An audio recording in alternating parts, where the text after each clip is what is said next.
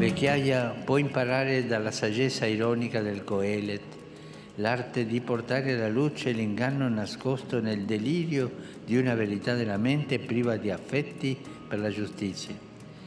Gli anziani, ricchi di saggezza e di umorismo, fanno tanto bene ai giovani.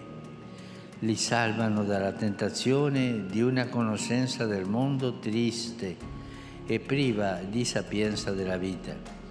E anche questi anziani riportano ai giovani alla promessa di Gesù, beati quelli che hanno fame e sete di giustizia perché saranno saziati. Saranno loro a seminare fame e sete di giustizia nei giovani. Coraggio tutti noi anziani, coraggio e avanti.